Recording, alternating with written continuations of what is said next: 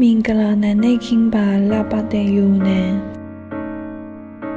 ပင်လယ်ဟာတခြားကောင်းကင်တစ်ခုဖြစ်ပြီးလက်လန်းမမီနိုင်တဲ့အရာများကိုလက်လန်းမီနိုင်တဲ့အရာများဖြစ်လာစေပြီးပုံများတဲ့စစ်လို့ရှားဖွဲ့အတိုင်းများလည်းရှိနေပါတယ်။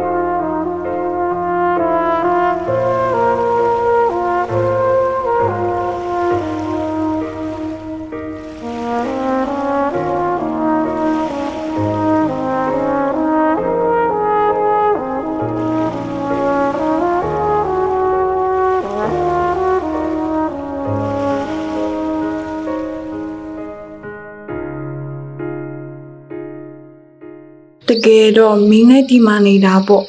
Good morning，云南。